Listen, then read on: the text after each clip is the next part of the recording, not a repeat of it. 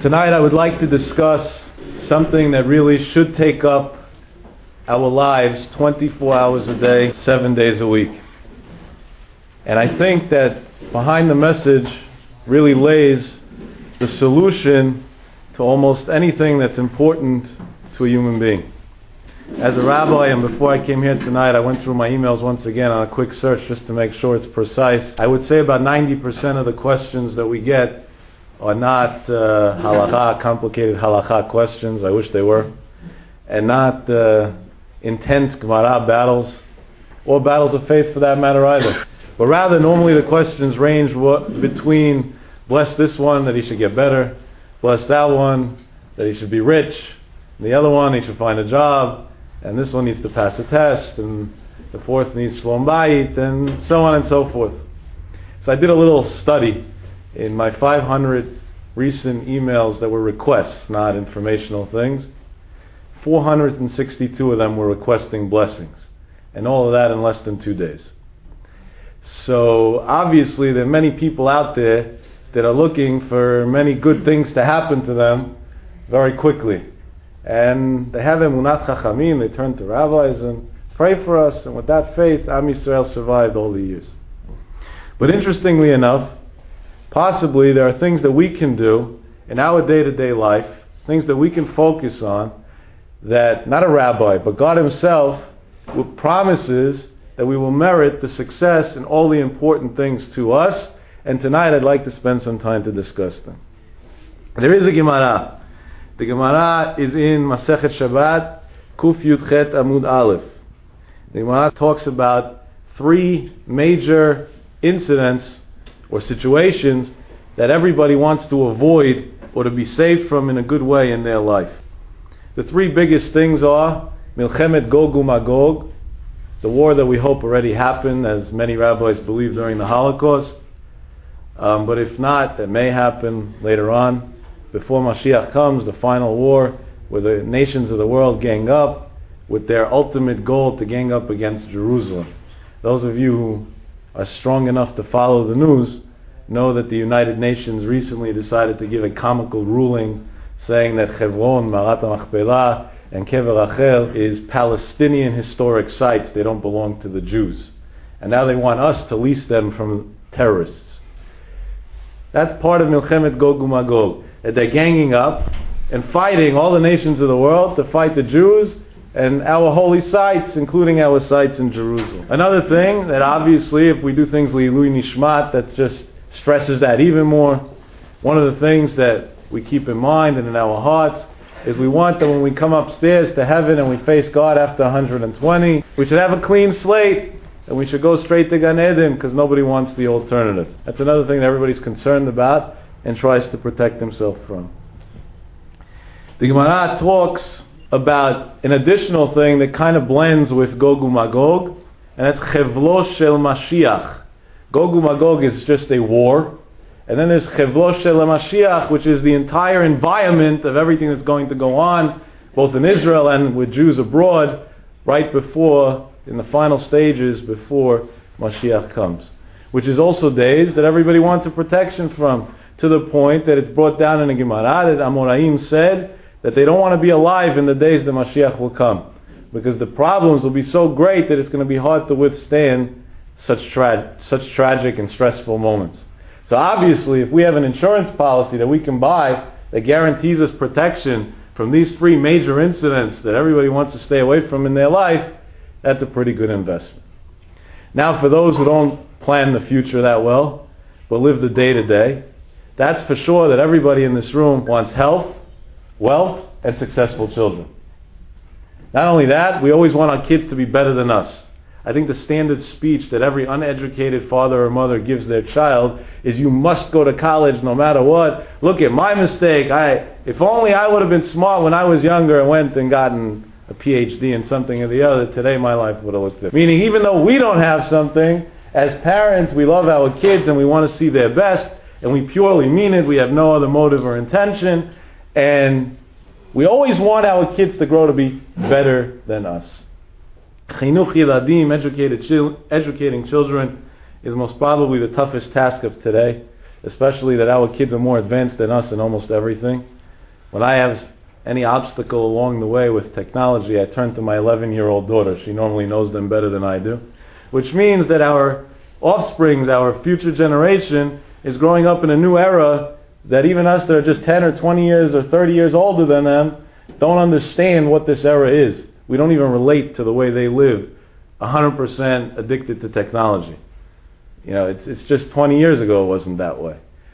And to be able to overcome all the obstacles that modern technology brings with it, including the great te- tests, nisyonot, that our kids have to go through, is a very, we need a very big merit for that. And we need a very good strategy to protect our children from all harm.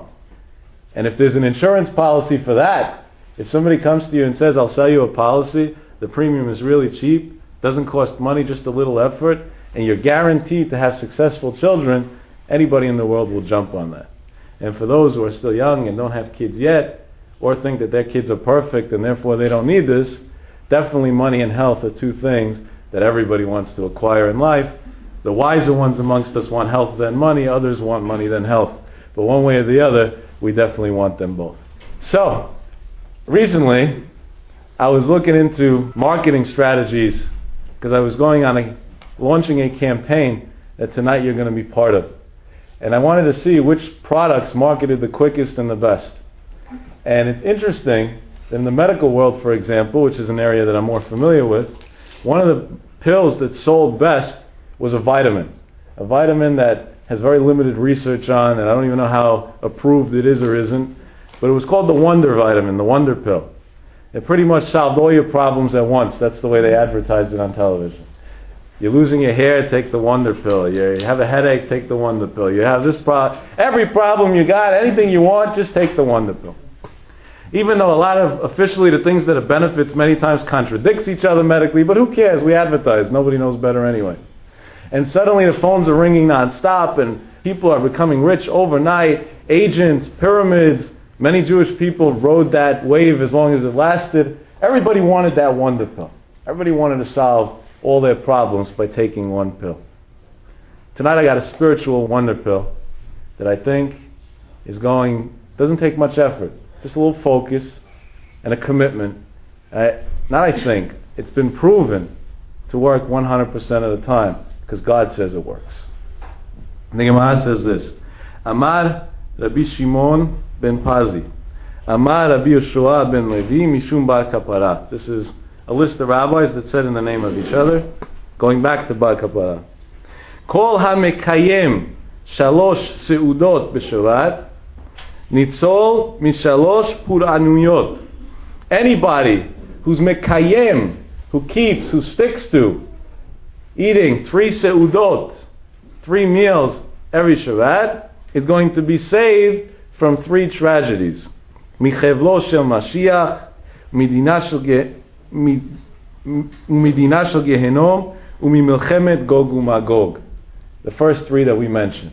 That person is guaranteed by God Himself that just for eating, we like eating, right? So it's not that hard. Just for eating three meals on Shabbat, he will be saved, Michevlo Shel Mashiach, Milchemet Gog and he's going to come to heaven and he won't have to go to Gehenom, which means he'll have a clean slate. That's a pretty good deal. And the Gemara proves it from Pesukim, but we won't be matzriach the tzibur to go into the proofs. If you'd like, look it up. Gemara Shabbat, as we said, Kuf Yudchet Amud Aleph. But this goes further, and if we look good in the words of the Mishnah Brura, the Chafetz Chaim in Mishnah Brura brings down, he adds on, he adds on to this. And he says this, that if somebody is going, the Chafetz Chaim is in Siman Reish Nun Vav, Sif Katan Bet, and he says if somebody is going to make it a point to invest in keeping Shabbat properly and doing what it takes to honor and respect the Shabbat the way he should, he's guaranteed 100% to have Banim, Talmidei Chachamim that are Gdolei Yisrael. He's going to have children that are going to be Torah scholars, successful kids, and not just regular Talmidei Chachamim. Gdolei Yisrael. Imagine you come to somebody and you tell him, we have a formula that guarantees that your child is going to be like Chacham Ovadia Yosef. any sane person, religious or not, is going to jump on the opportunity. And I've tested this all over. And people say, of course I want that. Sometimes people that they themselves are not even observant. A son as great as Chalvadi Yosef, what could be greater than that? Chafetz Chaim writes, you want a formula that's going to guarantee that your children are going to come out great? Make sure to observe and respect Shabbat properly, which soon we'll discuss what that means. The Gemara continues and says many other things along this line, and I just want to bring a few of these examples to whet our appetite to hear how to go about this and how to succeed in this new mission. The Gemara, one page later in Shabbat, Kuf Yutet Amud Aleph, the Gemara talks about this. Wealth, Ashirim. I have a friend who did a search in all the Gemara. Every time it says Ashir, he wanted to know everything that the Gemara talks about rich people. So this was one of the things that came up in his search. Rebbe Rabbi Ishmael Rabbi Yossi. Rebbe asked Rabbi Ishmael Rabbi Yossi a question. What was his question? Ashirim shebe'eretz Yisrael b'mehen zochim. The wealthy individuals in Israel, in what merit did they become wealthy?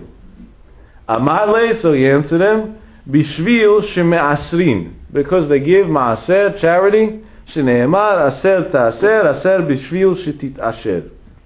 Point one. Point two, the Gemara continues. Shibbe Babel, the ones that live in Babylon, Bamehen Zochin, why did they merit to become wealthy? The Gemara says, Amarle, he answered him, Bishvil shemechadim et haTorah, because they respect the Torah. They have a special respect for Torah, that's why they merited to become rich.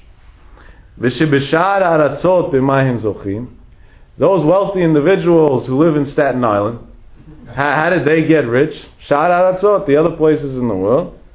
Comes the Gemara and writes, Amarle, he answered him, Bishvil shemechabdim et hashavat. Because they respect Shabbat. And in that merit, Borei Olam grants them the gift of wealth. So here we got it, clearly in the Gemara, not hints, not gimatriot, not Kabbalah that we don't understand black and white in the Gemara, guarantee. Shibishat Aratzot, the wealthy people all over in the other lands, in the other cities and suburbs and countries, everywhere. B'pnei zochim, with what do we merit to become rich? Shemechabdim, because we respect properly et HaShabbat. Namar Rabbi Chia bar Abba. Rabbi Chia bar Abba said a story. Pa'amachat, one time, נתארחתי etzel balabayit הבית I went to a balabayit, a business person. I was his guest for Shabbat in a city called Lutkia. והביאו לפניו, and they brought in front of him, in front of this balabayit, הבית, שולחן a golden table, masoi shisha עשר bnei adam. It takes 16 people to carry it. That was the weight of gold. Today's gold prices, that's a lot of money. And 16 chains of silver ornaments decorating it. V'ka'arot, v'kosot, v'kitoniot, v'sluchiot, all the china, all the dishes, kvuot bo alav, that were on it. Ve'alav, and besides for the golden table, you know, sometimes you could have a golden spoon, but nothing to eat with it. That doesn't get you far. כל מיני מאכל, all different types of food. V'chol mine megadim ubsamim, and all different sweets, and not only that, samim, different things that smell good. So the environment should be good. And when they place this golden table down with all the fancy things on it and all the great food, omrim la Hashem umloah. Even though he's so wealthy that he can afford to have such an expensive table brought in front of him, they still recognize from where the wealth comes from La Hashem haaretz umloa. The whole world, everything belongs to Borei Olam. Ukashim salkim oto. And when they take the table away, only Hashamayim shamayim Hashem ve'aretz natan livnei adam. So you may think that this guy was born into wealth. Or maybe he thought of the social network, and that's how he became rich. Or maybe something else like it. That's not the case. Amarti lo, the Gemara says. I told him, I asked him, Bini, my child, b'ma zachita lekach? How did you merit to get such wealth? How did you become so rich? What's the key to success? So he answered him, Amali, he answered me, Katsav I was a butcher. And I didn't, you know, a living, but barely. Umikol. Whenever I had a cow that this was, I saw was special meat, something very good about it. Amarti, I said, I'm not going to sell this to somebody else. Zu, this meat, tehele Shabbat. I'm going to keep for myself and enjoy it to honor the Shabbat. So the rabbi said, Amarti lo. I answered this person back, the wealthy man that he's sitting by, who used to be a butcher. Ashrecha shezachita. Lucky are you that you merited such wealth. You deserve it. Ubaruch hamakom shezikcha lekach. And blessed is God, Borei Olam, that was kind enough to show you His kindness and give you this wealth in return for what you've done. The Gemara shows us clearly. He was a butcher. He didn't have an education, definitely wasn't a Harvard graduate. He had no money. He was a laborer. And all he did was that he put Shabbat before his customers. He understood that even though for business, you know, they say a shoemaker doesn't have good shoes himself, because everything good he can make a buck on, so he sells it. He does the opposite. He says, the best food, that I'm keeping for myself. Because that's a way that I could show Borei Olam how much I love his Shabbat and respect it and honor it properly. This is what the Gemara teaches us. So we see, in short, in summary, that in the merit of being mechabed, of honoring Shabbat, there's unlimited amount of blessing that we can bring into our lives, unlimited amount of good that we take down to the world from keeping Shabbat properly and respecting it, honoring it, and enjoying it. The Zohar Kadosh writes in Parashat Yitro, Peichet, that all the blessings, Kol HaBerachot, I'm translating in Hebrew from Aramaic, Ha'elyonot ve'hatachtonot, all the blessings from above and from below, the upper blessings, the lower blessings, meaning all the blessings of the world, Tluyot depend on B'yom HaShevi'i, on Shabbat. Because Shabbat is Mikor, is the source of all the Berachot. If God forbid somebody's ill, and he has a bad disease, and that disease also brings him a bunch of symptoms, and we medicate him for the symptoms, but we don't medicate him for the actual disease. We don't kill the bacteria, but instead we treat him for all his little symptoms along the way. The man won't live long. Everything's going to be gone. Because symptoms are very nice, but that's not the issue. The issue is that you got to deal with the problem from the source. The same thing is on the flip side. In good thing, if we want to get good, and we take, we nitpick little drops of good, but we don't absorb, we don't take in the source of all the blessings, the ultimate good, the highest level of the good, so it's like we're cheating ourselves. We're giving ourselves the raw end of the deal. Instead of getting everything, we're getting a small thing. It's like imagine somebody's father at an old age passed away and left him an inheritance, a company. And he says, I don't want to own the company. That I'll give to somebody else. I want to work as a security guy by the door. Because my dream as a child was to hold a gun. And now that I own the place, I can do what I want. He's a fool. Sit upstairs in the CEO's chair and count the money. Don't give it away. The same thing as us. Borei Olam gives small blessings, little things that we're blessed with every second of the day, which three times a day in Amidah we thank Him for.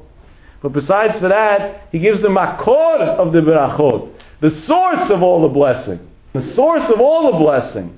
The big picture, the CEO of the blessing in the world is Shabbat Kodesh. So tonight, I'm on a journey, and this journey is taking me all over cities, towns, suburbs, villages, neighborhoods synagogues all over the world to discuss what it really means through day to day stories, through things that we witnessed with our own eyes and others that our rabbis taught us over the years, to really understand, appreciate, and respect Shabbat properly, and in that merit, we should get all the blessings that we've just mentioned and discussed.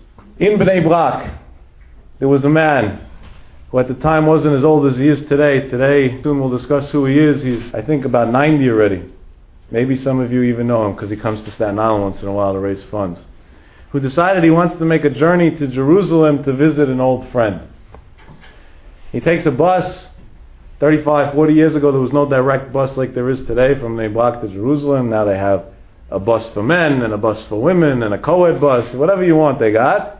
Then you had to take a bus to Tel Aviv, and then from Tel Aviv, you would be able to get a bus to Jerusalem. So he takes two buses, it was a long journey, and he finally makes it to Jerusalem, and he gets off, and he's not that familiar with Jerusalem, and he stops, the first Orthodox Jew that he sees, and he says, Yehudi, my brother, do me a favor. And he says, what? He said, I'm looking for the house of the Tchebin Rav, the Rebbe of Tchebin, in Jerusalem until today.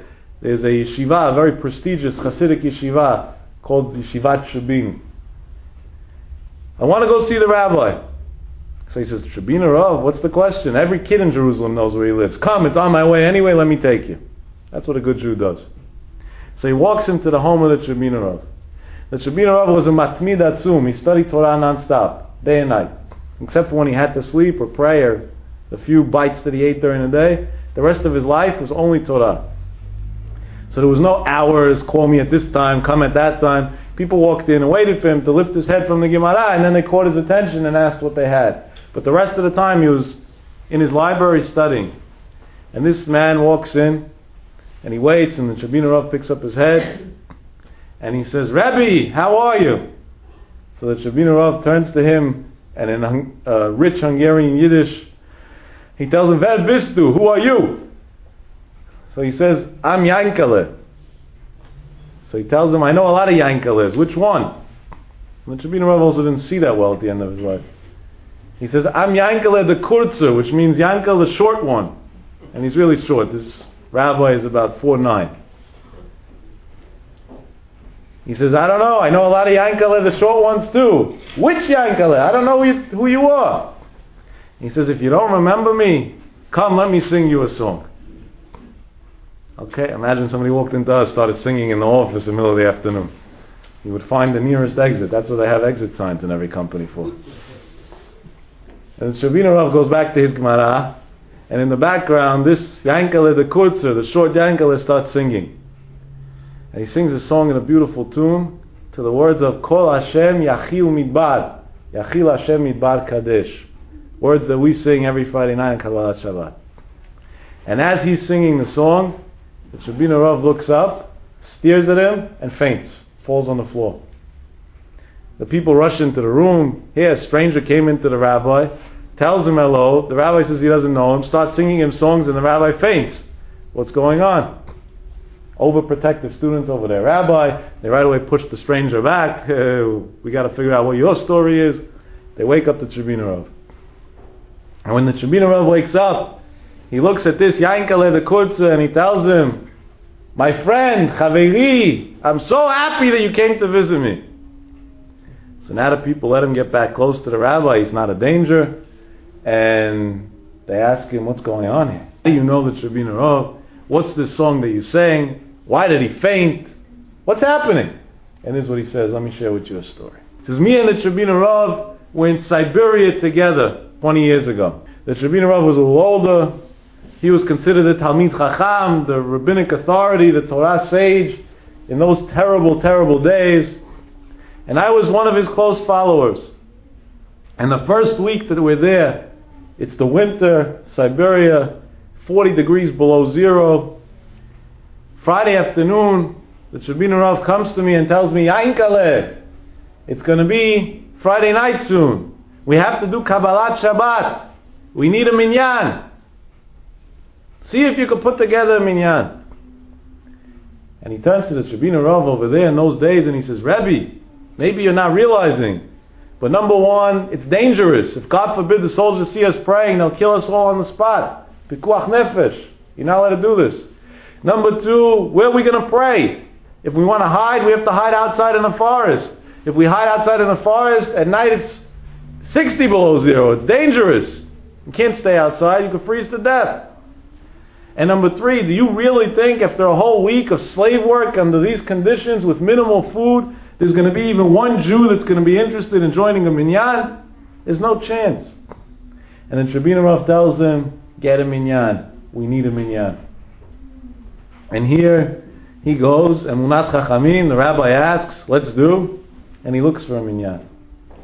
And Yisrael Kiddoshimim, Jews are holy. And you go to them and ask them to join, they join.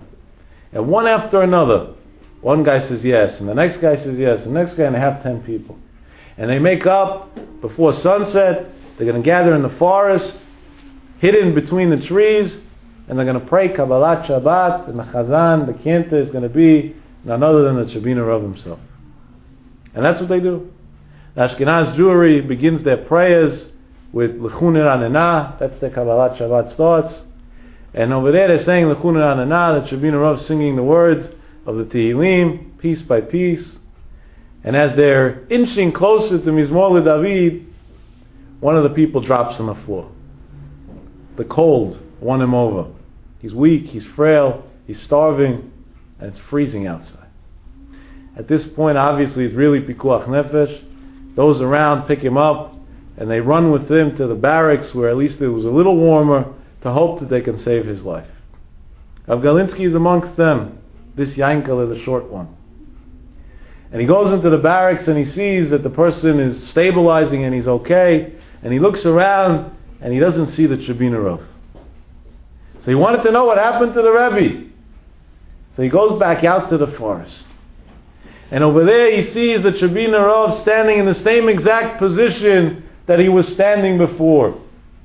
Except now he was holding a little further in the prayer. And with the tune that he then composed in Siberia in the forest, he sang the words, Kol Hashem Yachil Midbar.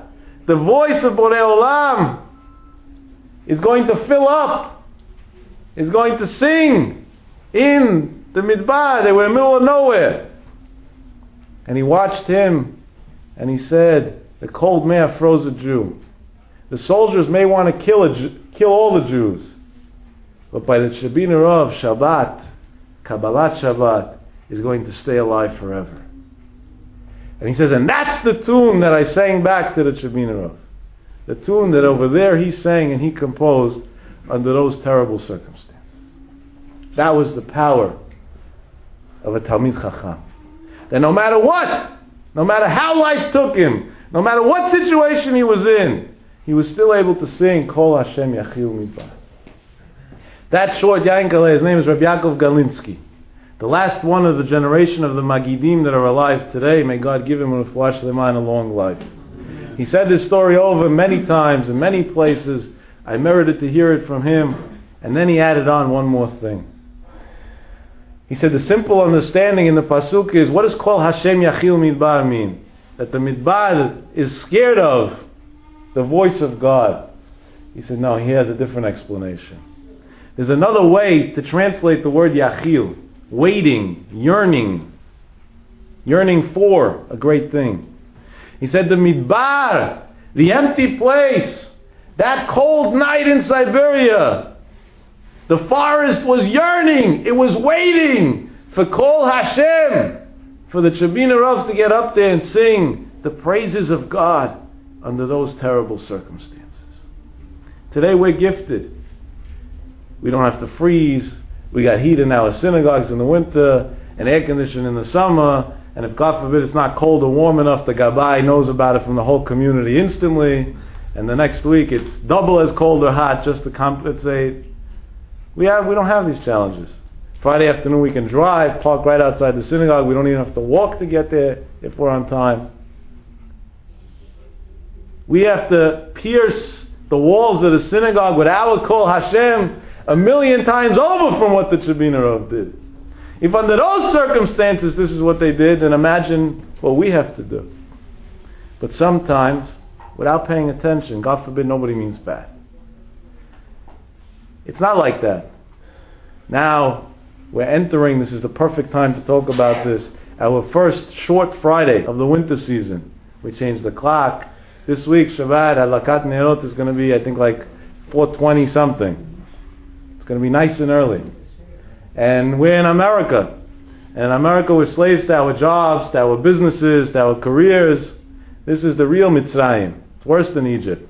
In Egypt, they enslaved us. Here we enslave ourselves on that yachil, and the yearning for another buck. And it's a big nisayon to get up at chatzot ayom and say, I'm closing the business. I don't care about anything and I'm going home. Because I need time to get ready for Shabbat properly. To come into the synagogue calm, not half dressed, half not, confused. What just hit me? It was a tornado at home and I ran away. It's a big nisayon, it's a big test.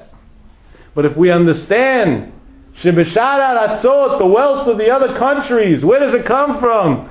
Kvod Shabbat, honoring Shabbat, then we understand that by staying at work another couple of hours, we're definitely not going to get richer. If anything, vice versa. And by being brave and strong and saying, I'm not scared to close early, and I'm not scared to do what I have to do, because I'm going to be one of those who's going to be mechabed Shabbat, who's going to honor Shabbat properly, definitely will be blessed with wealth. There's an extremely wealthy family in the United States named the Parnas family. All their siblings, on all sides and ends, are wealthy. I say this story countless times wherever I go. It's one of my favorite stories I ever heard in my life. And recently, in the past few weeks, I heard another piece to the story that I didn't know until now. And I've been retelling the story to add on the piece that I was missing. Listen to this. This gentleman comes from somewhere in Lithuania, I think, to the United States of America, the beginning of the 20s. Back then, to be a Shomer Shabbat in the U.S. was impossible, or practically impossible. Because if you wanted to get a job, it wasn't like today that we work four days, five days a week, six days some people have to work. It was a seven day work week no matter what. There were no questions asked. And if we think that 9.6% of unemployment is enough to throw out Obama from his uh, safe haven, then uh, back then uh, unemployment was in the high 40s of percent. There was no jobs. So if you already got a job, you wanted to hold on to it. And somebody wanted to be an Orthodox Jew went through the same thing every single week. You came to work Sunday, Friday afternoon you got paid, you didn't show up the next day because it was Shabbat. Sunday you came back to work and found that you were already fired without them notifying you and they replaced you with somebody else because you didn't show up to work on Saturday. And this Jew comes to the U.S. fantasizing that this is the land of gold, like many people came to the U.S. dreaming until this very day. We still fall into that same trap. And very quickly got that rude awakening that that land of gold is not gold to everybody. Some people it's white gold, some people it's yellow gold, and other people it's black gold. Hard work gold. And he gets his first job, and Friday afternoon he's fired and his second job, and Friday afternoon he's fired, and his third job, and Friday afternoon he's fired. And the fourth week, the word went out that he's a Shomer Shabbat, so he has nobody to go to to get a job anymore. They turn him down before he walks in. In the 20s, because they didn't trust people with money, because people were so tight on money, you didn't pay rent once a month like we do today. You paid rent every week. His rent on his apartment was $5 a week which back then was a substantial amount of money. And after two weeks of not having a job, he didn't have five dollars to pay rent for the next week. And the landlord tells him he's giving him a grace period of seven days, and if by the following week he doesn't get ten dollars, one for this week and one for next week, he's out. Now we got to go to court, and after going to court, who knows if you're lucky and you have uh, God is on your side, and you do a lot of ishtadlut, then maybe you'll get your tenants out that didn't pay you. Back then, it wasn't like that. It was the Italian era, downtown Brooklyn and Manhattan. They moved you out. They helped you move. Sometimes in a nice way, sometimes in other ways. But it was a free moving service. They didn't need a truck. It went straight out the window. And he knew the guy meant business. And the guy comes to him the next week and he says, $10. And he says, I don't have. And he says, You want to get out nicely or do you want me to help you get out? And he gets out. It's February. 15 degrees outside. And this man with four children and his wife are thrown onto the street with nowhere to go. No homeless shelters, no hostels, nothing. Everybody's in the same boat. Nobody can even afford to help. And a goy, who was the maintenance guy over there in the building, sees four children freezing outside. And after an hour, this guy was from Chasidei Umot Olam and walks up to Mr. Parnas and tells him, Sir, why are you out on the street? And he says, I have no money. I was thrown out. He says, What are you going to do? He says, I don't know. He says, What do you mean you don't know? You need to plan very quickly. Look at your kids. They're trembling. He said, I know, but what should I do? He said, Why can't you get a job? He says, Because I won't work on Saturday. He says, I don't know. Saturday, not Saturday, that's not my territory. but to leave you out here on the street, I have a heart. Listen to what we could do. One of my jobs in this building is to fuel the boiler with coals. It wasn't gas like today. I had to put coals in every morning. And being that it's February already and most of the winter's out, the coal room is two thirds empty. If you want, you can move your family into the coal room. And you'll have heat. At least you won't freeze. And over there, he moves his kids into the coal room. And he goes with his children to live under those circumstances. He tries here and there to hustle some work just to make money for food, and like that, the weeks are going by. One day, his kids are playing outside, and if anybody ever handled coal, forget about being in a coal room, you know that very quickly your skin turns black, the color of the coal. And here are kids that are European kids that were raised on speaking Yiddish that look like African American males. And they're playing outside, and an old Jewish wealthy woman walks by, and she sees what she thinks are Schweizers talking Yiddish. And that was a novelty back then. And she goes up to them and she says, How do you guys know Yiddish? They say, What do you mean? We're Jewish. She says, From where? So they say, From wherever they were, Lithuania, Poland, I'm not even sure where. I guess Poland, they spoke Yiddish. He said, So why are you dark? So he says, It's from the coals. What coals? He said, We'll show you where we live. You live with coals? Yeah, but that's dangerous. Fumes, toxics. We have nowhere else to live. It's better than freezing. And this woman walks behind them because she doesn't believe what she's seeing. And she goes into the coal room and they show her their, their living quarters. So she turns to the father and she says, Why don't you get a job? He says, I can't. He says, Why can't you? He says, Because I'm a Shomer Shabbat and nobody wants to hire me. A Jew is a Jew. And even though she was very, very far from religion, she went home that night and her husband says, Let's go out for dinner. And she says, I'm not going out. Why not? I'm on a hunger strike. And what are you striking about? He says, We're going to go to some fancy restaurant and spend all this money when I just saw kids that live in a coal room? No way. He says, What are you talking about? She tells him the whole story.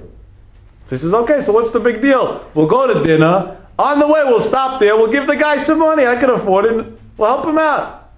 Calm down. If that's what's going to make you happy, you got it. And that's what they do. They get into their car, they go, they stop over there by this coal room, they walk into Mr. Parnas, and the guy takes out a hundred dollars, which then was a hundred, fortune of money. And he says, Here you go. Go get yourself an apartment. Mr. Parnas should have started dancing and singing, right? God sent them a miracle. He doesn't do that. He turns to the guy and he says, Is your business open on Shabbat? And he says, Yes.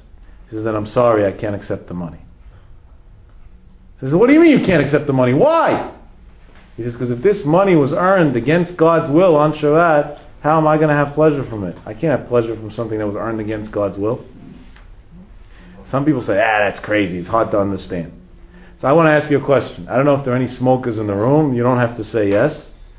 But in case you smoke, imagine you need a light. You're desperate for a cigarette. It's been an hour, and the lighter in the car exactly that day doesn't work, and your cigarette lighter doesn't work, and it's windy outside. You already went through all your matches, and none of them lit the cigarette. And now you're frustrated and agitated, and the addiction's burning inside of you, and you need that light. And suddenly you see that there's smoke coming from somewhere right behind. And you turn around, God forbid not this place, and not any Jewish place, but you see a synagogue that has smoke coming out of it. You figured there's no smoke without a fire, right? I can get a light. And you go inside and you see the Sefer Torah burning. Would you bend down over the Sefer Torah and grab a light for your cigarette? No, right? How about a non-religious Jew? Somebody who doesn't even fast on Kippur. Would he bend down over a Sefer Torah and light a cigarette? No way. How about if you were at gunpoint? Would you do it then? Not either. No matter how close or how far you are, no Jew in the world would bend down to a burning Sefer Torah and light a cigarette.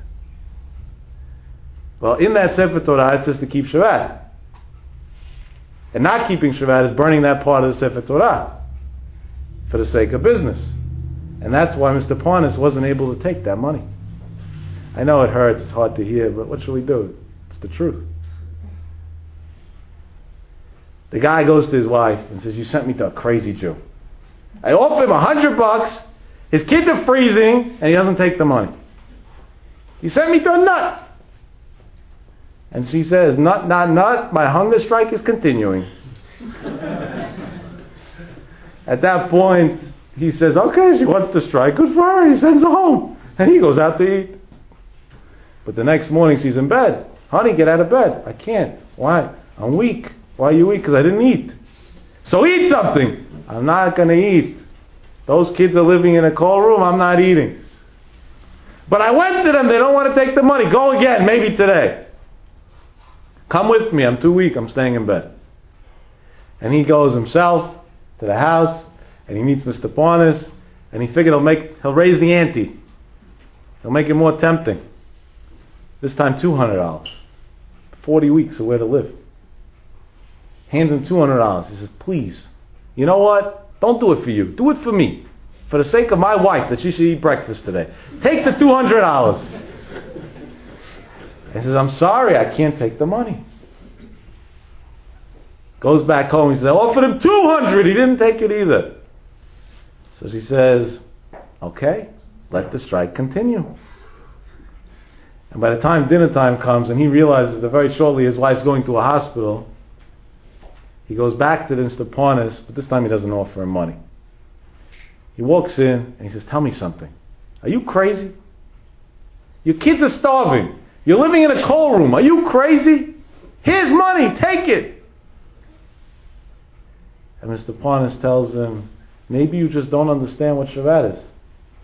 And out of frustration, he looks at him and he says, okay, so teach me. He says, sit down. He says, where? In the coals? No way. He says, come on, sit down. Feel what it's like. And he sits him down.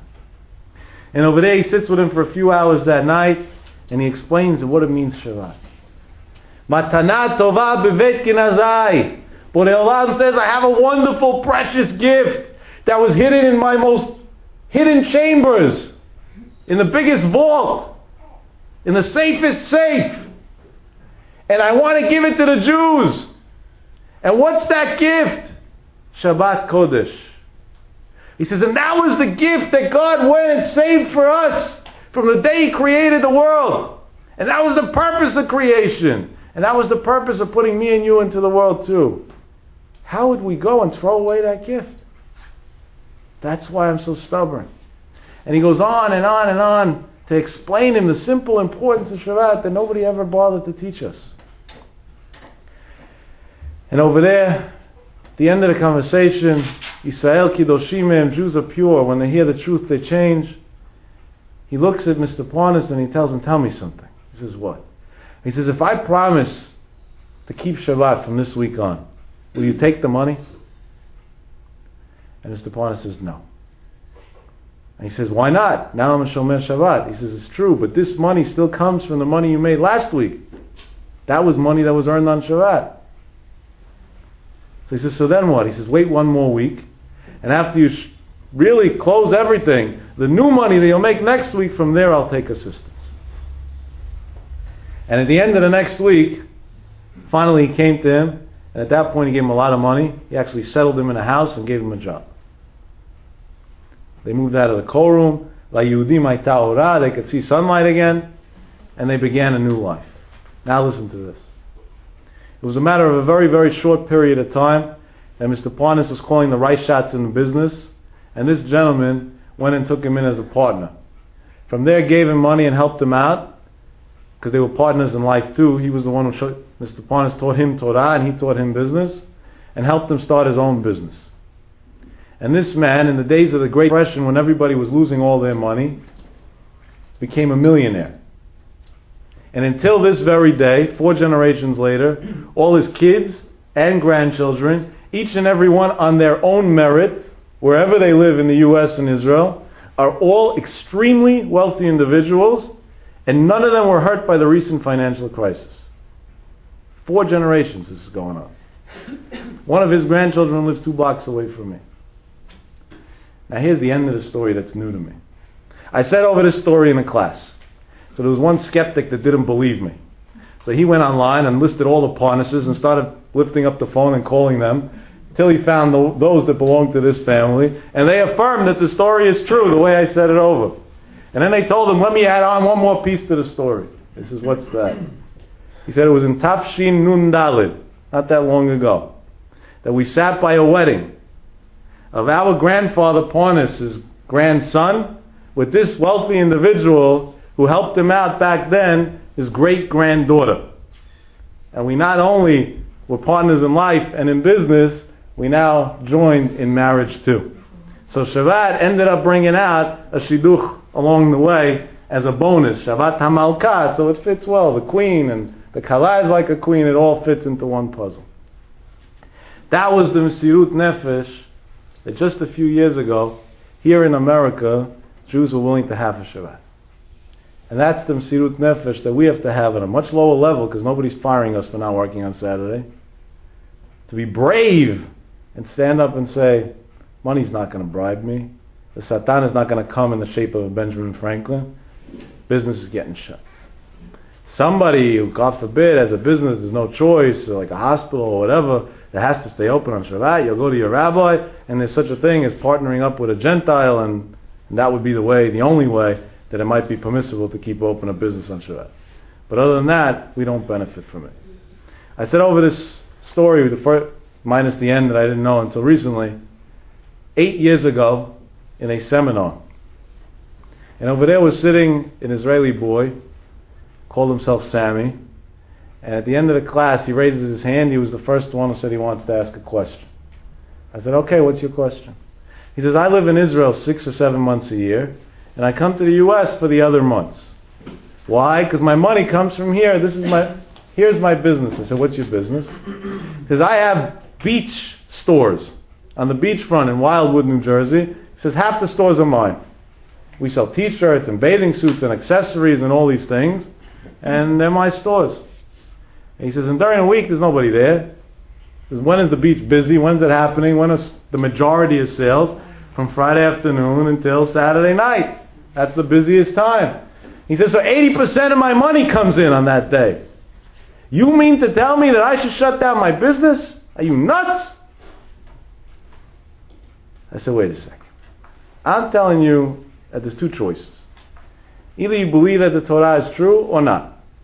If it's not, so this conversation makes no difference anyway to you. So let's forget about it. And if you believe in God and that He gave the Torah and the Torah is true, in that Torah it says that Shabbat is the source of blessing. So I am 100% sure that you won't get hurt by keeping Shabbat. He says, wait, you mean to tell me that if I shut my business on Shabbat, the next week I'm going to see in the bank the same amount of money that I used to make? And I looked at him and with half a smile, half a smirk, I told him even more. And he says, and if not, I said, so if not, you were tested by a tough test, number one. And number two, you'll be able to say that I lied to you. That might look good on one of your blogs or whatever. He says, you know what? And he stands up brave and he says, Ani nishba bekol ma shani ma'amin. I swear in the name of everything that I believe in, that this week all my stores are going to be closed.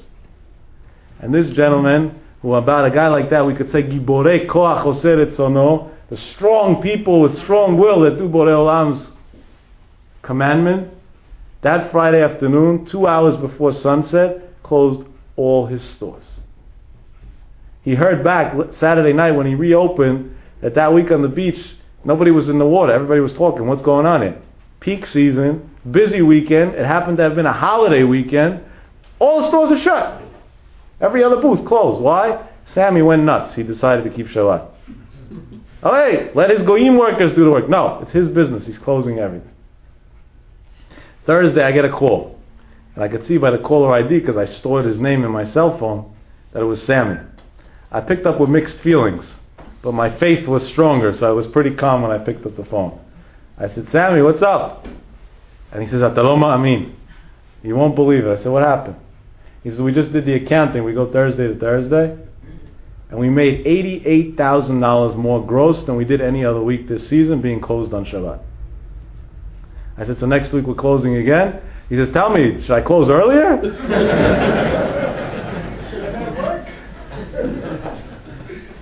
and Adayom until this very day, eight years later, there's still stores in Wildwood, New Jersey, that get closed every single Shabbat from two hours before sunset until an hour and a half after sunset shut down, closed. Except that now he doesn't have a mystery anymore. He put on his doors of his stores, when they're closed down, an explanation of why they're closed.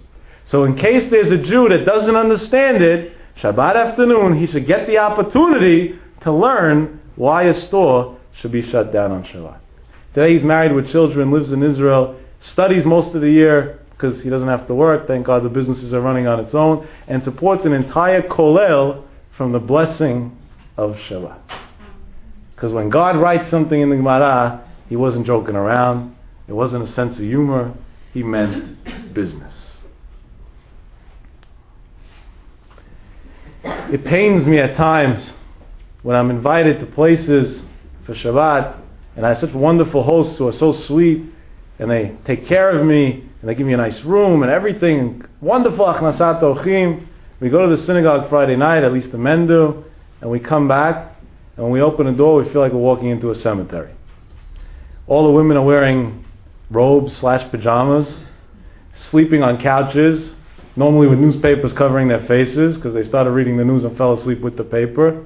The table is bare, and the angels that walked in with us, waiting for Shalom Aleichem, first have to hear an alarm clock, a wake up call to wake everybody up. Hello, get up, it's Shabbat, get dressed, let's get to the meal, let's start. The Ari Kadosh brings down, and I think it's hinted in the Zohar too, that if the angels come into a house together with the man when he comes home from the synagogue, the two angels that bless us Friday night, and this table is not set with the food on it, ready to go, ready to make kiddush right away, they say we don't have time to wait, and they leave. They don't stay, and they don't leave the blessing. How important is it? And it is a big test for women. They work hard all week, they have kids on their head and other things, and it's stressful, and the preparations for Shabbat are even more stressful sometimes. How important is it to overcome all of that? And to be strong and say, we're going to be ready. And we're going to do it right. And not just right. On our level, we're going to have the gold table. We're going to do the best. Because that's Kvod HaShabbat. That's honoring Shabbat. My uncle, Zecher Tzadik Livracha, once told us that he was invited on a Friday morning to go visit a student of his. And he thought that the reason why he was invited there was because the woman just had a baby three weeks before, so most probably she wanted a blessing for the baby or for herself. So he gladly agreed to go. He said, Friday morning, 10 o'clock, I'm going to go to the house. And he shows up, it's Friday morning, 10 o'clock, and this is in the summer, not in the winter. And the woman tells him, Rabbi, maybe you want to eat something? So he says, No, it's fine. He says, No, it's a mitzvah. He says, What mitzvah is there to eat Friday morning, 10 o'clock? Jews, we always have mitzvot that are food somehow or the other. So she tells him, to taste the food of Shabbat on Friday, it's a blessing for long life. Rabbi, come, taste the dishes. He says, it's 10 o'clock in the morning. What dishes? She said, I woke up at 5. Everything's ready. He says, what? I want to see. He says, he walked into the kitchen, and he had tears in his eyes. He was filled with emotion. Here's a woman three weeks after a baby. 10 o'clock in the morning in the summer when she has the whole day. Everything's ready. And he said, not one, one and a half dishes, a feast. Everything's ready. And he said, food like this he has to taste. Said, I sat there for an hour and dish by dish I tasted food out of every pot because I felt I was eating alive Kiddush Hashem. I was eating God's glory. And this is the power. This is the commitment that Jewish people have, that Jewish women have to the honor and the respect of Shabbat. There was a rabbi in Israel, passed away little, about 20 years ago, a little over, the Steipler, Rabbi Yaakov Kanievsky. His son is Rav Chaim Kanievsky, the famous rabbi today in Bnei Brak that everybody runs to for blessings. That's his son. He was also in Siberia, together with many other rabbis that were there. And he was a watch guard, and he would do a night shift.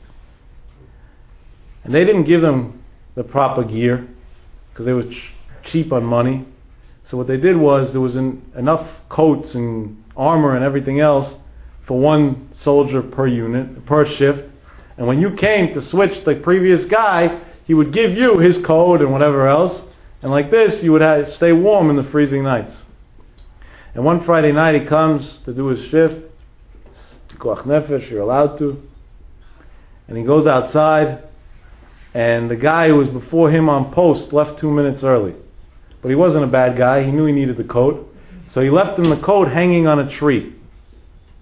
Now, to take a coat off of a tree that's growing is a safek of an issur derabanan. It's not a deoraita. It's not like lighting a fire, God forbid, or turning on a car.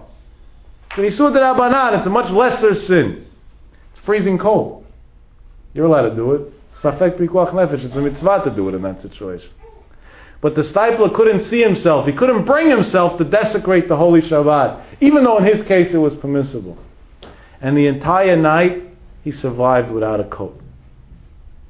And when he came in the next morning and everybody realized what happened, they asked him, How is it physically possible? Forget about that it's extreme. How's it physically possible? How didn't you freeze? And he said, This is what I did. And from this we can learn a trick for life. So when I got there and I realized what's going on, I didn't say, I'm not going to wear the coat. Because then I would have gave up right away. It was freezing. I said, two minutes I could hold out? Yeah. So for two minutes I'm not taking the coat. In two minutes from now I will, but two minutes I'm not taking the coat.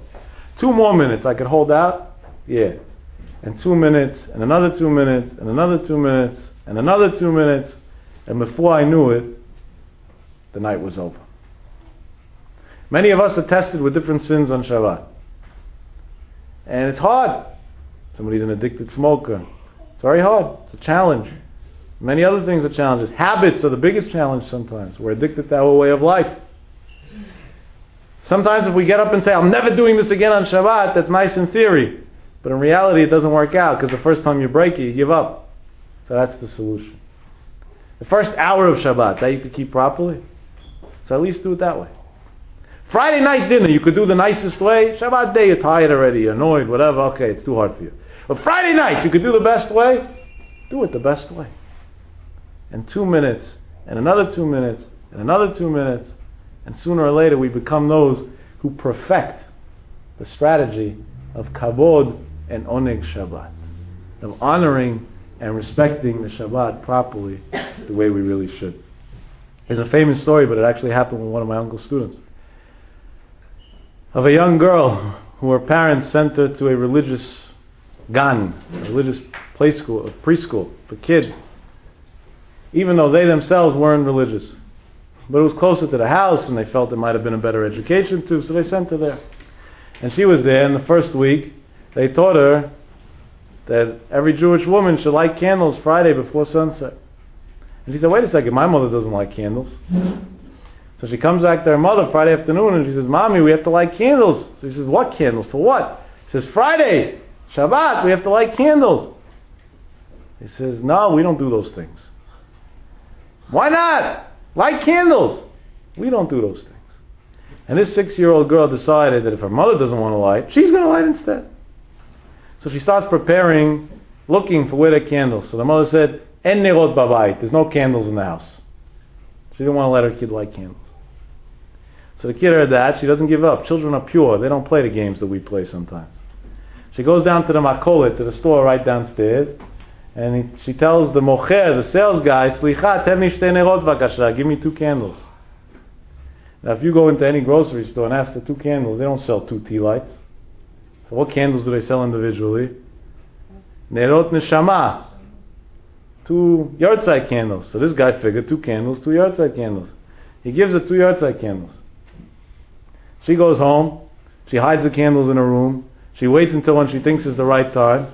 And behind closed doors, she takes a match and she lights both candles. Her mother, after half an hour, doesn't see the daughter anywhere. She says, what's going on? She comes to the room. She opens up the room. She sees two Nerot Neshama and her daughter sitting in front of them. She flips out and she says, Mazeh, what's this? So he said, Hidlakti Nerot, I lit candles. Yud Bishvil Ma, for what? He said, Hidlakti echad le'aba ve'echad le'ima. I leave one for my mother and one for my father. That lady today is religious. For obvious reasons. She got a live Musar class from her six-year-old daughter.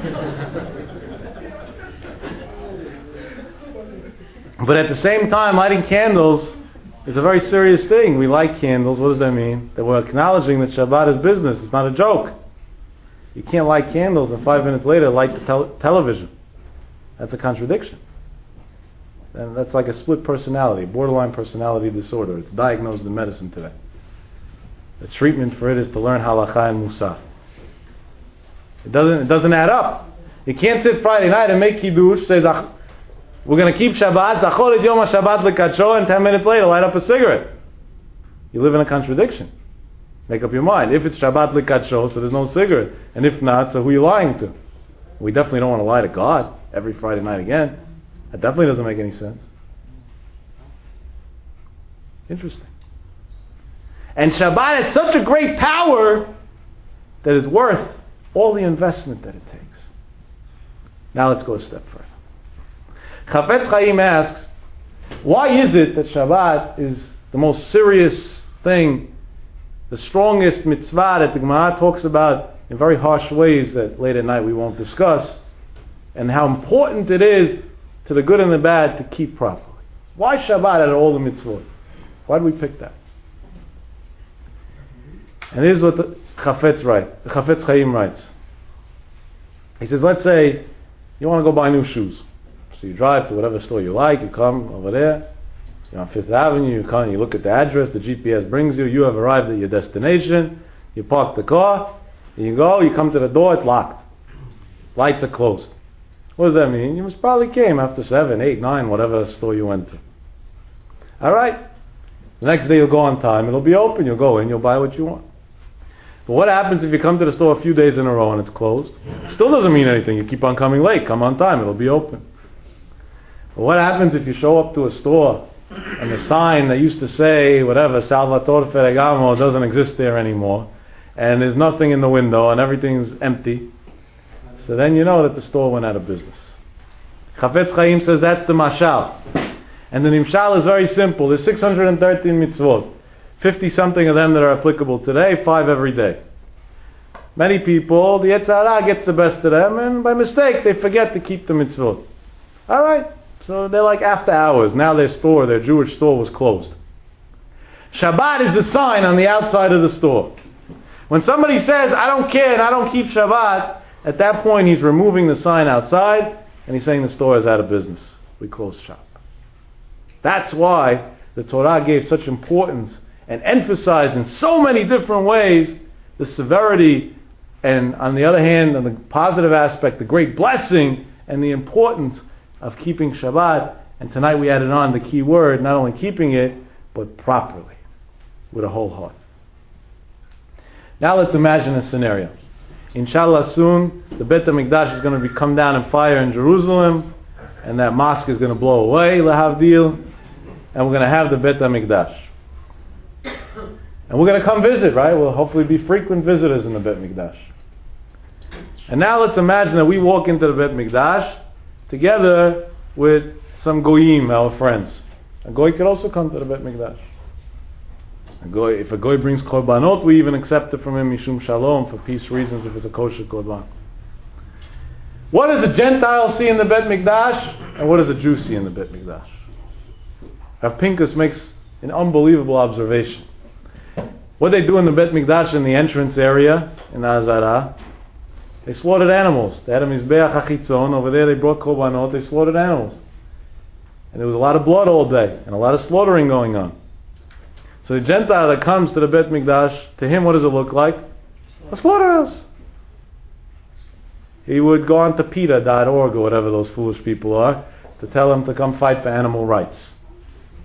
Like that clown that went to Israel to do the same thing now. She doesn't understand how the rabbis approve shechita.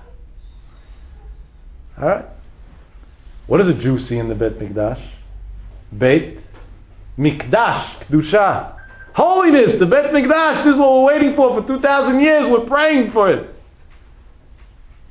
But they're both seeing the same thing. What's the answer? One person is a Jew, and a Jew's vision is to see Kedusha. And the other person wasn't gifted with that vision. He just doesn't see Kedusha. He sees the facts. And the facts are a slaughterhouse. Some people say, Shabbat's so long, it's so hard, it's so boring. You know what the answer is? If we behave properly, if we condition ourselves to be God's kids and proud to be God's kids, so then our vision, we hear the word Shabbat, we go into Shabbat, what do we see? Kedusha, the greatest pleasure. But if other things poisoned us to the point that we don't have that vision anymore, then we have to go for urgent LASIK, to spiritual LASIK, to correct the vision. Because then what we're going to see in Shabbat is, oof, it's so long, I can't deal with it. I'm going to sleep through the whole thing.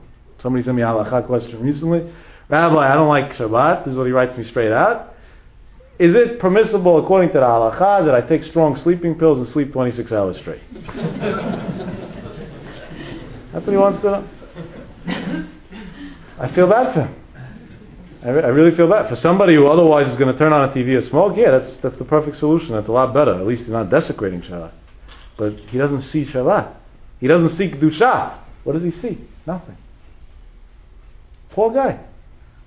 So I wrote back to him, Shabbat himi lizog refuah krova lavo. Olam should send you a refuah for your vision. You should see in Shabbat that it screams holiness, not a pain in the neck, not a reason to knock yourself out.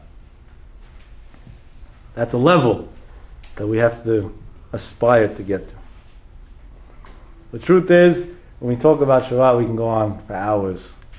And that's not what we're going to do tonight. Maybe next time I'm here we'll continue. I just want to end off with one more story. There is a guy in Israel, a very, very famous tour guide, a religious tour guide, who he advertises a lot here and everything to get customers. His job is Kishmo Kenhu, like his name is exactly what he is. A tour guide picks you up from the airport, he has a nice car, he drives you around wherever you want to go, takes care of you, gets you a hotel, it is, all your arrangements when you're in Israel, so you should have a pleasant trip. That's his parnasa. And in a way he's lucky, because for every dalit amot that you go in Israel is a mitzvah on its own, and you get Gan Eden for it, and he's constantly driving and traveling all over Israel. Lucky is he. And he also opened so many people's eyes to the beauty of Israel. That's a merit on its own, the love of Israel. When you're a tour guide, I never tried it, but I can imagine, just from my own travels, you end up meeting a whole lot of interesting people. And it's not like a plane that you sit near somebody for an hour, three hours, 12 hours in the worst case scenario. You're with them for a week. So you hear their whole life, and certain people like talking a lot, so you hear more than just their life. But okay, it's a way of networking. Why not? And one day, he gets a phone call. Phone calls from a guy, has like a broken English, and he tells him, I'm an American Jew, an elderly person, I'm coming to Israel for the first time in many, many years. I don't know my way around. There are a bunch of places I want to go to. Here's roughly what I want to do. Can you be my tour guide? Can you take me around? And he says, Sure, where do you want to go? So he tells him exactly what a good Jew says. I want to go to Kotel HaMaravi, to Me'arat HaMachpelah, to Kever Rachel, to the graves of tzaddikim of North, and to here and to there, and all the holy sites of Israel, he rattles them all off there. And he says, and where do you want to be for Shabbat? I got to make you hotel arrangements or whatever. He says, I want to be in Miron, by Avshon by Yochai. Over there he wants to be for Shabbat. Okay. He says, no problem. He says, do you have a comfortable car? He says, yeah, for sure. I have a great car. Everything's fine. How much is it? They make up a price. He says, I'll see you in the airport. Here's the flight number, the date, the time. I'll be holding a sign. You come meet me. and I'll take you around. Monday afternoon, this tour guide, his name is Nachman, is holding a uh, sign up in Ben Gurion Airport, and an old elderly gentleman comes out, sees the sign, waves. You're the guy, yeah. He sticks him into the car, and they start their travels. And he takes him to every single place that he mentioned, plus more, and explains to him everything that changed, and the history, and the importance, and unbelievable. Sometimes you could be in Israel and not even realize where you are. You need somebody who knows the, the meaning and the understanding behind everything to open your eyes to every little detail in Israel. To every little detail of the Kedusha, every step along the way. Every year, God gives me the merit, more than one time. I take groups together with me and my students to Israel and to Europe, to Mekomot HaKdoshim. And when they come back, many of them are Israeli. They lived there many more years than I did. And they tell me, Rabbi, this was the first time in my life that I really understood Israel. They understood it from a spiritual perspective instead of a political perspective. The Havdil. And is what this guy does for him. Takes him around and shows him everything. Shabbat, they get to Miron.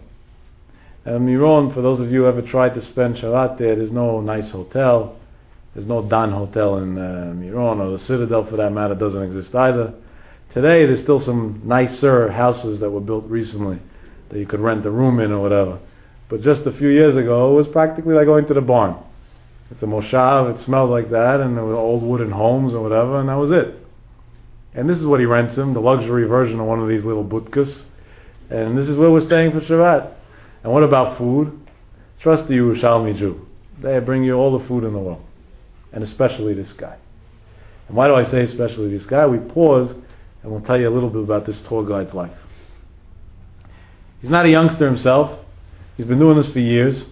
But no matter where he is, no matter who his clients are, he has a condition that's in each and every agreement with any client that he takes around Israel. That Thursday night at midnight, he has to be in Jerusalem for 15 minutes. This is his condition. And sometimes that's a problem because one of the guy wants to be up north. What Jerusalem? You know, this is what he insists on no matter what. Why? Because he has his mitzvah. His mitzvah is Oneg Shabbat. And his understanding of Oneg Shabbat is a little bakery near Har Nof in Jerusalem, between Har Nof and Givat Shaul, who sells chalot, and the first batch of fresh chalot for Shabbat is at 12 o'clock at night, Thursday night.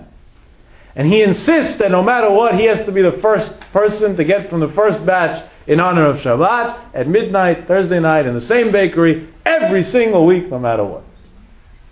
This is his thing. To each his own. And one Thursday night, he goes in as usual, and when a customer is coming to the same store for so many years, he's like family already. So he goes into the back and he tells the guy who's in charge of this hello, and the other guy, and the mashgiach, and this one, and the sales guy, tells everybody hello. And over there standing a guy, one of the guys who's working on one of the mixes. He's not a youngster himself, who they employ more as a favor than as they need him. And when this guy is talking to him, and this Nachman is talking to this man, and he tells him, How are you? What's your story? What's going on? And they're having friendly chat. This elderly gentleman, it was hard for him to stand. He leans back against the mixer. Stuck his arm a little bit too far back, and the thing is turning in the mixer, and his arm gets stuck. He's dragged, but thank God he's light, and he gets spit out of it instead of getting hurt, thank God. He's laying there on the floor. His finger's bleeding, not too bad for such a tragedy, and his shirt is ripped. He got away cheap. He's in shock. Nachman runs over to him, calms him down, makes sure he's okay. Tells him everything's all right with you. Yeah. He says, "You sure?" He says, "You see, my shirt got a little ripped and whatever, but after everything I've been through in my life, big deal. This is small stuff for me." And Nachman knew exactly what he was talking about, because on that sleeve that was ripped, there were numbers on his arm, and these were the numbers six, six, six, seven, seven. And he shows him the numbers and he says, after this, everything in life is easy. Nachman wishes him Shabbat Shalom. He leaves and gets his chalot with joy on his merry way. Ten years later, Thursday night, he's back in the same bakery as he is every week. But this time, instead of just buying two big chalot, he buys four because he has a guest from America that he's going with to Miron. And this is part of the food that he's bringing up. And Friday night he sits with his guest and he tells him these are the most delicious chalot in the world. This is why I had to be in Jerusalem Thursday night. Taste them. They're sitting and they're eating. And his guest gets a little warm. He takes off his jacket. He's wearing short sleeves. And he sees on the guest's arm numbers. And those numbers were six, six, six, seven, eight. And he says, wait a second, those numbers look so familiar. And then he remembers, no, they're not familiar. I know 777. And he starts asking his guests questions. Where are you from? He tells them. What's your life story? Baruch Hashem, I live in Brooklyn. I have a family, kids, grandchildren, money, everything's good. What's your life story? He says, my life story? I went through a very hard youth. Why? I was in the camps. Which camp? He tells him a name. You have any family? He says, My wife and my kids. No, any family that survived the war. He says, No. My parents were killed in front of my eyes. My sister was killed a year later in the camp in front of my eyes. And I had one brother. One day we were on a train being transferred from the work camp to the death camp. And on the way the train broke. And it stopped. And the prisoners said, This is their time to escape. And they all, ju- many of them jumped off the train to run, which they were hoping they would run to their freedom. But the Nazis, Yimach Shemam V'Shem Zichram, were ready for this. And they were waiting with guns, shooting them down as they were jumping off. And he said, based on what I saw, nobody survived. And Nachman turns to this guy and he says, and where were you? He says, I was on that train. And where was your brother? He was on that train with me. So why didn't you and your brother jump off? He said, actually, my brother did jump off, but I didn't. Says, why? I wasn't feeling well. I didn't have the physical strength to be able to jump. My brother was feeling stronger. So I turned to my brother and I told him, go, save your life at least. It's better than both of us dying. And my brother said, I'm never going to part from you. I'm not leaving. I said, that's wrong. Why should we both die? At least you, save your life, jump. And he jumped off. And I've never seen him or heard from him since, so I'm assuming he was one of those that was shot on the way. I somehow survived. He said, Are you sure he's dead? He said, Yeah, I'm sure. How do you know? He says, I hired investigators. I went to every Holocaust museum and every list of anybody who ever survived, and I asked anybody that I could possibly think of, and nobody, nobody knew where my brother is. And he tells him, Tell me something. You went into the same camp with your brother at the same time?